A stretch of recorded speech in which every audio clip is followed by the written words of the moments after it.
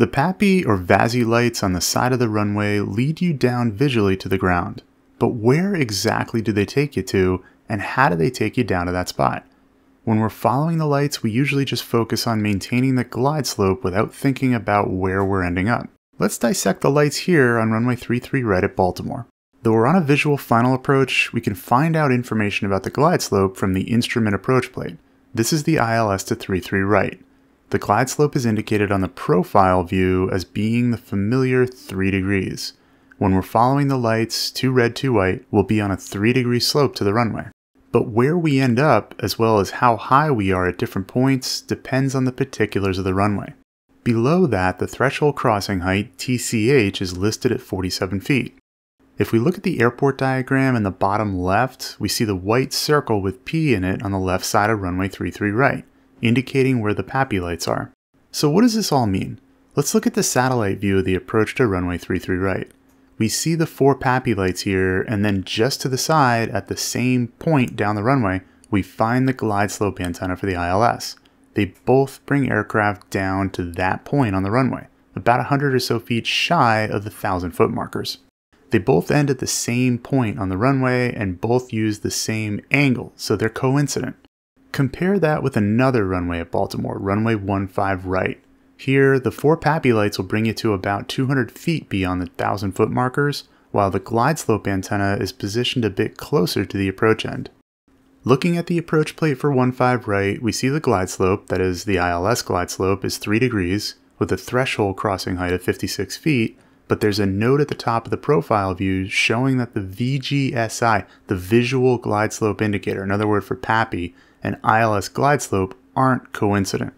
The PAPI is the same 3 degrees but with a higher 73 foot threshold crossing height. How can the two glide slopes have the same angle but bring your aircraft across the threshold at different heights? Only if they originate at the different points on the runway. Back at runway 33 right, we don't have that problem, so there's no note on the approach plate. We already know what altitude we'll be at when we cross the threshold, but where will we be at certain distances from the runway?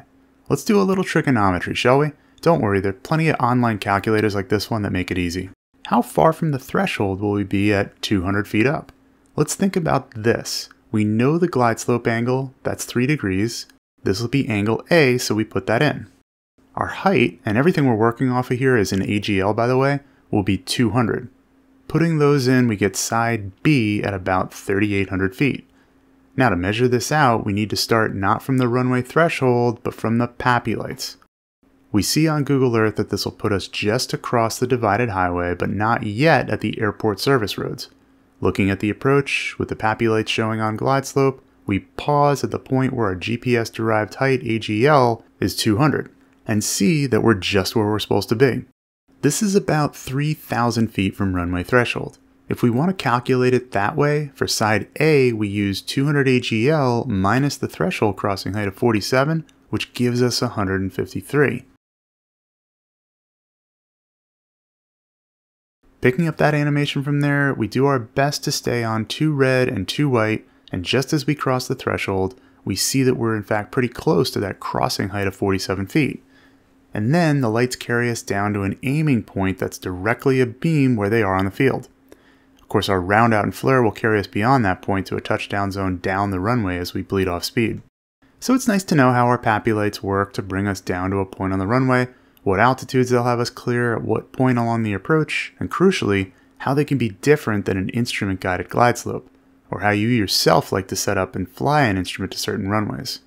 Have a look at your favorite runways to get familiar with the PAPI glide slope there, and as always, we'll see you over at the Flight Insight website for full ground schools linked right here and down in the description.